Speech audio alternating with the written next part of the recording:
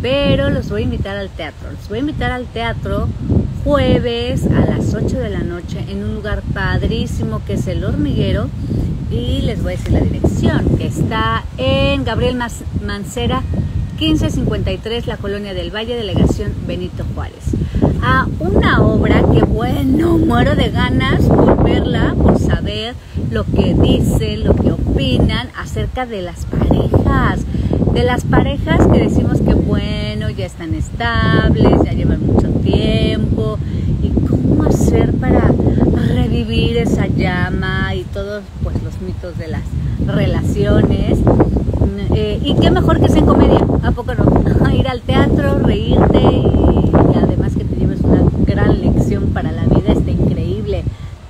Miren, esta comedia replantea las relaciones de pareja conflictos por la convivencia. Mm, qué interesante suena.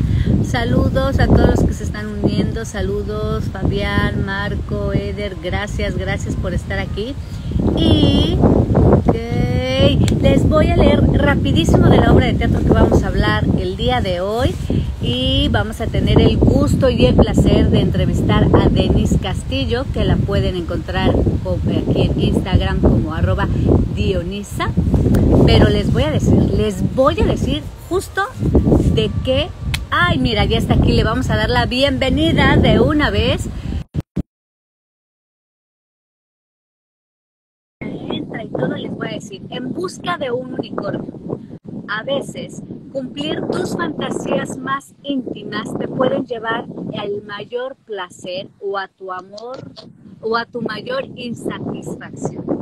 La compañía Haruki Teatro, Girán, Girán Molina, César Martínez y Sergio Iván Domínguez presentan el estreno de la obra teatral En Busca del Unicornio, original del dramaturgo y director Girán Molina, que se estrenará en el Centro Bueno, ya se estrenó, ya se estrenó, en busca del unicornio es Ah, no, no, no, ya casi, ya casi. Este jueves se estrena. Sí. Este jueves se estrena. Ya, yo ya, ya había pensado. En busca de el unicornio es una experiencia humorística que invita al espectador a replantearse la manera tradicional en la que se viven las relaciones de pareja, no solo en los conflictos derivados de la convivencia diaria, la costumbre, sino pensando en las nuevas formas de ver la identidad y los roles de género. Muy bien, ya que estamos aquí, por favor, hermosa, ¿cómo estás? Ay, pero no te caigas, no te caigas. ¿Cómo estás? Súper bien, Adriana, contenta de verte. Tiene mucho que no, que no te veía, qué gusto. Muchísimo, y yo ya te quiero ir a ver al teatro, porque aparte suena súper interesante y es un tema ahorita, bueno, muy actual. Esto de los géneros, hay ya muchísimos géneros, como que ahorita se está abriendo y respetando todas las diferencias y gustos y preferencias sexuales. A ver, cuéntame, cuéntame por qué llevar esto a una obra de teatro. Pues mira, justamente pues eh, está sucediendo que se está abriendo la plática, a diferentes formas de relacionarse y pues también de divertirse en, pareja, ¿no? Están los, los grupos swingers que, que pues tratan de explorar parejas eh, monogámicas, salir de la monotonía y involucrar a otras personas para divertirse, o no solamente los swingers, sino también, bueno, en este caso, pues probar con eh, terceras personas que se introduzcan en la relación para meter un poco de variedad y, y pues justamente también pues hablar de los géneros, ¿no?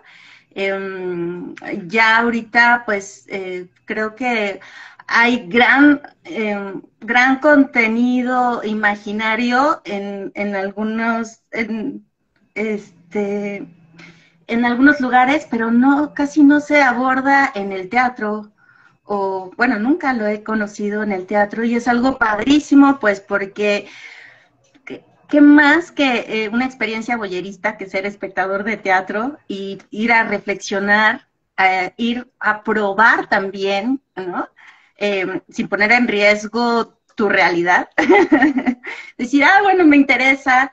Em, entonces, pues creo que eh, es un espectáculo para reflexionar, divertirnos y pues el autor Irán Molina lo hace de una manera muy divertida y muy humana, muy em, que, tú puedas identificarte con algunas experiencias, aunque no estés en esa misma situación de, de las parejas, pero es algo súper divertido e interesante y por eso me encanta este proyecto.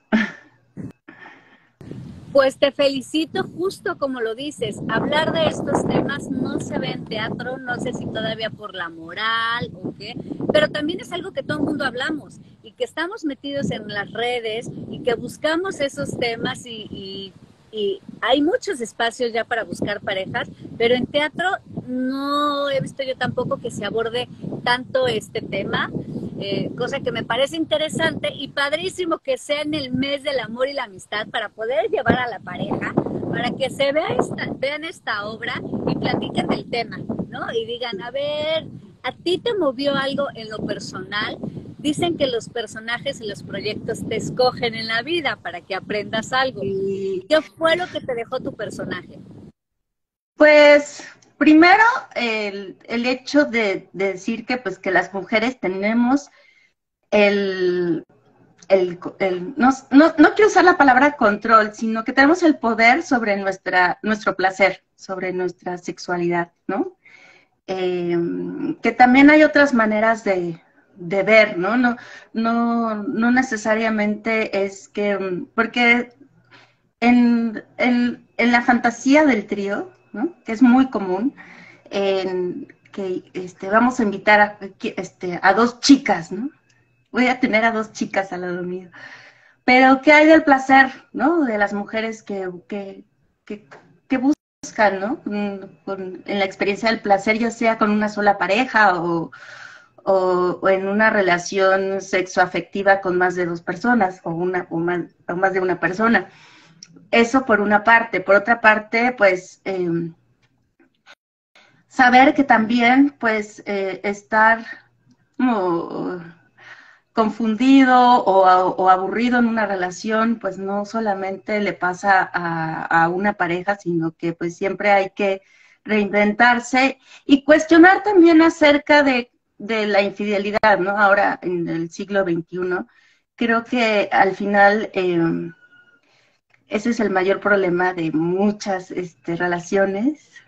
Eh, no, que la infidelidad no tiene que ver necesariamente con la monogamia, sino con eh, ser eh, honesto, llegar a acuerdos y poder cumplir con esos acuerdos, ¿no? Y, pues también es algo que vemos en la obra de teatro, ¿no? ¿Qué pasa? ¿Qué pasa cuando tomas decisiones dejando afuera los acuerdos, ya sea que sean acuerdos abiertos o este o, muy tradicionales, ¿no? Hay ahí siempre un tema de conversación y, que pues hay gente que le atrae, ¿no? Yo en lo personal eh, sí estoy eh, a favor de hablar de las relaciones, hablar con tu pareja, de tus fantasías, de tus, de tus deseos. Y pues siempre es eh, ganar y ganar, ¿no? En una, en una relación. Eso es lo que yo, yo, yo creo y pues me ha, me ha motivado mucho a, estudiar sobre, sobre justo las relaciones de pareja, saber las, de las chicas unicornio, los jóvenes unicornio, los chiques unicornio también, ¿por qué no? Este, chiquis. ¿Quiénes son las chicas, chiques unicornio? Disculpa, no te entendí. ¿Quiénes son las chicas, chiques, unicornios? Pues la chica unicornio es aquella que comúnmente se conoce en el argot eh, eh, de grupos de sexualidad en la que una pareja heterosexual busca a alguien, en su mayoría son mujeres, que estén dispuestas a entrar a la relación de, de manera sexual pero sin compromiso eh, eh, emocional, ¿no? O sea, la, pareja eh, estable se mantiene como pareja, pero viene una externa, una Es una invitada y la, y la invitada está de acuerdo, ¿no? Al final es sexo consentua, que consienten las tres personas. Y este, y bueno, hay, hay, parejas que, también, pues ya también se relacionan no solamente sexualmente, sino afectivamente con una tercera persona. Se llaman chicas unicornio chica unicornio o chicos unicornio porque son em, casi, casi personajes mitológicos que hay pocas personas que, que se atreven a tener una, una, una relación de este tipo sin involucrarse eh, o involucrarse con, con las dos personas, hombre, mujer, ¿no? O sea, son personas...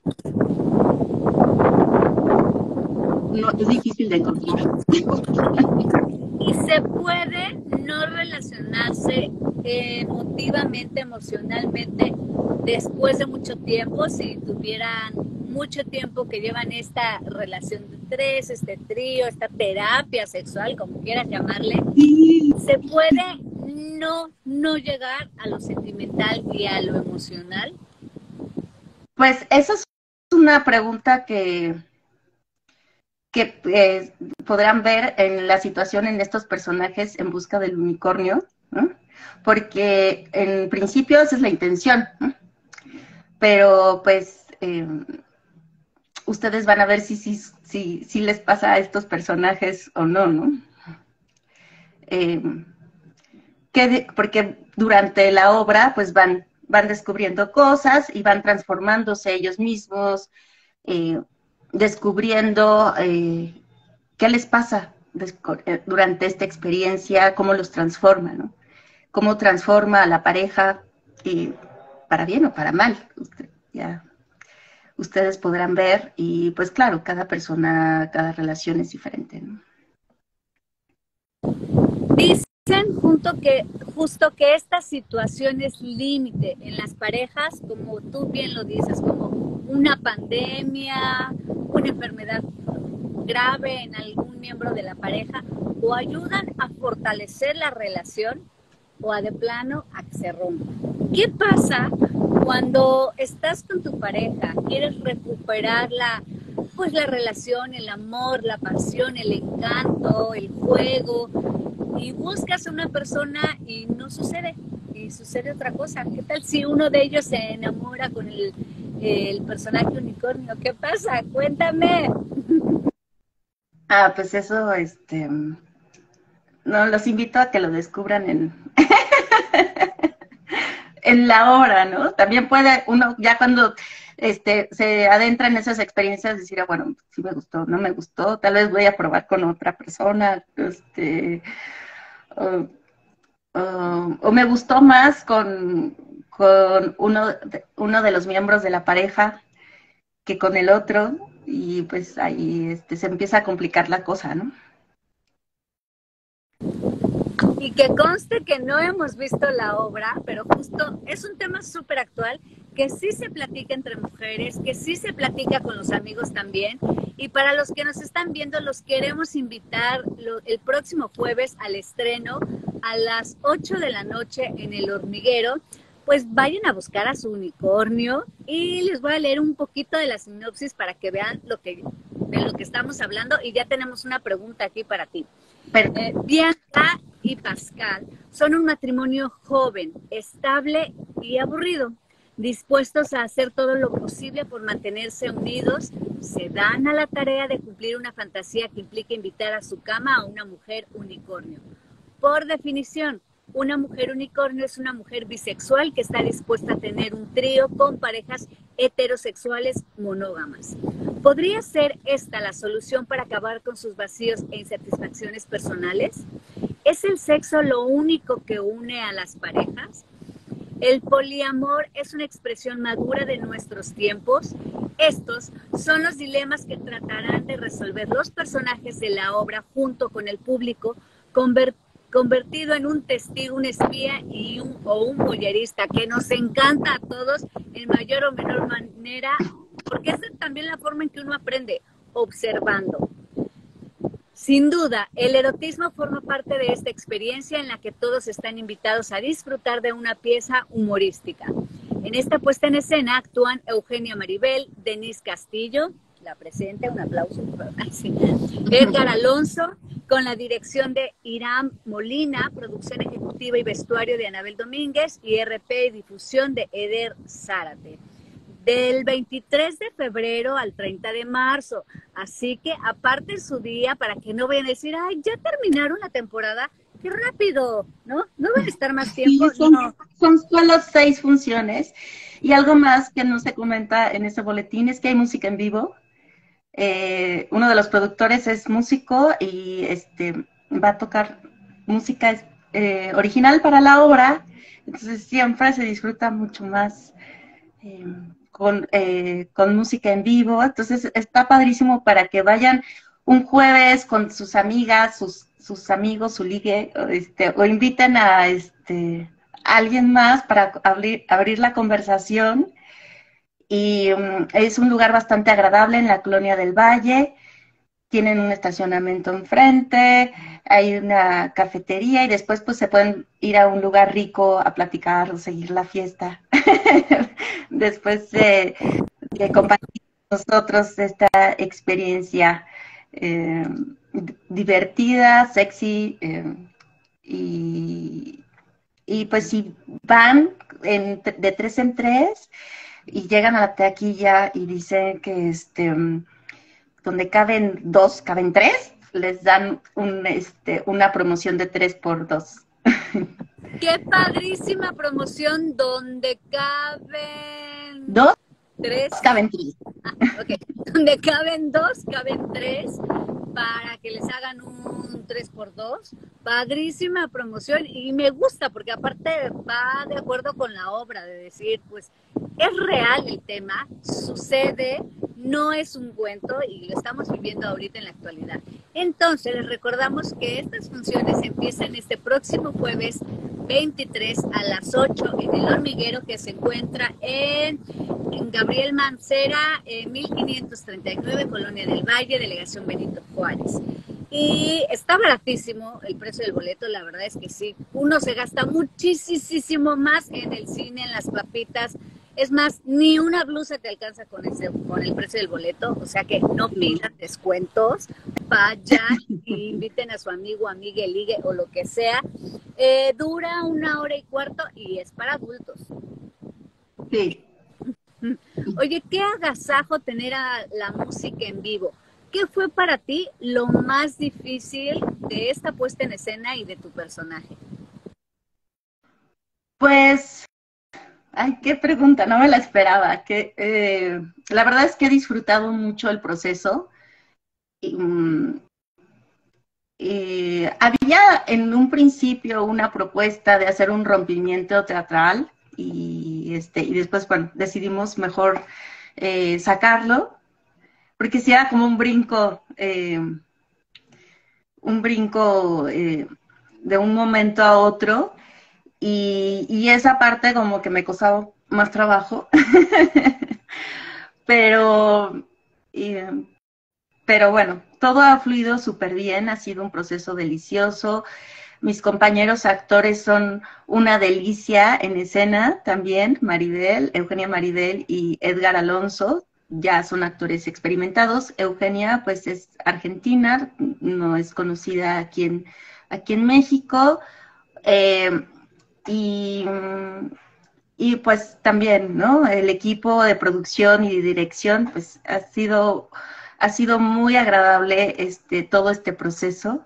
Ha ido viento en popa, entonces nos encantará, nos encantará que se sumen con nosotros a esta este, diversión. a, este es este, este, esto, montaje, para todos los géneros, porque también esa es otra. Ahorita, para mí, es, eh, creo que siempre hay violencias sexuales, pero nunca se ha respetado tanto o se ha abierto tanto. ¿Ustedes tuvieron que experimentar, estudiar algo de géneros para este montaje? O sea, ¿aprendiste algo que no sabías que existía? ¿No? Porque aún hay muchos géneros que yo todavía no entiendo. ¿Tú te encontraste con algo así? Pues eh, sí, porque este es, pues, es, es una pieza cómica em, y como tal tiene momentos de stand-up, un poco así. Eh, sí, no, para, para mí es un, un, escrito muy inteligente, la dramaturgia y, y, pues sí, algo único, la verdad. Entonces, eh, nunca lo había este, experimentado así. y claro, hablar de, tríos, pues nunca lo, lo, había abordado. Y hay muchas cosas, hay muchas cosas nuevas y que este, se resuelve muy inteligentemente. Es, eh, eso es lo que podría decir de esto. ¿Por qué crees que es importante que la gente los vaya a ver? Bueno, primero porque, eh, porque hay que divertirse. El teatro es para eso, para reunirnos, tener eh, comunión entre una pequeña comunidad que puede ser de tres, de dos. este, por una parte, porque con el humor pues se pueden abordar temas difíciles, no siempre es, es fácil hablar de temas tabúes, ¿no? Como en este caso la sexualidad y, los tríos y la bisexualidad, pues durante mucho tiempo ha sido un tabú, ¿no? Entonces no son temas fáciles de abordar, pero donde hay humor, eh, siempre es más fácil poder eh, reflexionar y dialogar al respecto. Y y pues van a, em, van a vernos, a nosotros los actores, arriesgarnos, em, ponerle carnita, mostrar carnita también em, para nuestros personajes. Entonces, pues espero que se animen. Aquí no nada más le ponen el corazón, sino también la carnita, la carnita. también está padre. ¿Tú crees que el teatro ha sido liberador para ti y esta puesta en escena? Sí, claro que sí. Em, yo, por ejemplo, en lo particular, pues nunca he hecho un trío, ¿no? Entonces también para mí es como de, ah, una manera de, de investigar, de probar. también para mí, ¿no? Como actriz. Y pues también para los espectadores, claro que sí. Qué padre, es cuando uno dice, el teatro claro que nos alimenta el alma, la vida y todo lo demás. Hay una pregunta para ti, dice, Denise, ¿cómo se siente de, de hacer un personaje así en la obra y qué te ha cambiado como actriz? Pues, es liberador, ¿no? Este, poder sacar una parte de uno, porque pues siempre como actores, actrices, pues ponemos parte de nosotros, ¿no? Y decir, bueno, ay, esto me da pena, ¿no? o sea, yo hay cosas que soy penosa en, la vida real, pero pues ya me subo en escena y digo, ay, voy, este, lo hago. Entonces, sí es liberador. Eh, también es como eh, encontrar empatía con, este personaje que es súper, es hermosamente encantador, con mucha pila, eh, siempre tiene una actitud positiva y, y pues eso siempre se agradece me di chance también de bailar, de disfrutar, sacar mi, mi, parte este, sensual también. Eh, Divertida, sexy, qué padre. Ajá. Sí. y pues, eh, si me cambió, pues todos los personajes sí de alguna manera te cambian porque te enseñan cosas nuevas, ¿no? Y lo que más importante que me ha enseñado Irene es eh, que mi placer depende de mí. Y este, y, y, pues los demás, está padre invitarlos a la fiesta, pero eh, depende de uno estar, eh, sentirse satisfecha. Sí, ya te quiero ir a ver, quiero ir a ver esta obra, porque aparte en estilo comedia, seguro, seguro, seguro, es divertidísimo ver estos personajes, cómo buscan algo y cómo se meten en conflictos y luego cómo salen de ahí. Está Oye, se pasa rapidísimo el tiempo cuando está muy entretenido el tema. Te agradezco mucho, pero quiero que eh, nos digas unas últimas palabras, nos invites, nos recuerdes la fecha, los horarios, quiénes están y así para poder cerrar esta bonita entrevista y para que todos, todos los que nos están viendo vayan. Y les recuerdo que esta entrevista se queda grabada en mi Instagram y es muy fácil compartirla en Facebook, en Twitter, por WhatsApp para llenar el teatro. De verdad, piensen que la pandemia hizo que muchísimos teatros cerraran. Hay muchísimas familias que viven de eso, no solo los actores, está el director, el escenógrafo, vestuarista, los que limpian el teatro, el de taquilla, en fin. Hay muchísima gente, entonces yo se los agradezco que vayan al teatro este jueves a las 8, paguen su boleto que de verdad está baratísimo y aparte se la van a pasar increíble. Invítanos, por favor. Sí, pues los invito con muchísimo placer En Busca del Unicornio, escrita y dirigida por Irán Molina. Está producida por, eh, por Sergio Iván Domínguez, que también toca en vivo, por César Martínez y este, ¡ay! este, em, también eh, actúan Maribel, Eugenia Maribel, Edgar Alonso y em, está Anabel Domínguez también está como nuestra diseñadora de vestuario y producción. Estamos los jueves a las 8 a partir del 23 de febrero hasta el 30 de marzo y eh, también pueden conseguir sus boletos por Boletópolis o directamente en taquilla en Gabriel Mancera 1539, Centro Cultural El Hormiguero. Y recuérdanos esta maravillosa promoción que es. Sí, si llegan a la taquilla, abren una hora antes y dicen, donde caben dos, caben tres, les dan un descuento tres por dos. ¡Qué padre! ¡Qué padre! Yo nada más por ir a la taquilla decir eso ya muero de ganas de ir y seguramente nos la vamos a pasar genial. Denise, muchas gracias. Estás guapísima. Ya te quiero ver en el escenario. Quiero ver qué tanto lo disfrutas, lo gozas y, y, que hay de mí que se refleje por ahí o que me saques de dudas, por favor. Sí, claro, Adriana, te espero con muchísimo gusto. Me va a encantar verte por allí. Pues muchas gracias y nos vemos por allá un jueves y ten linda, linda noche. Igualmente. Bye.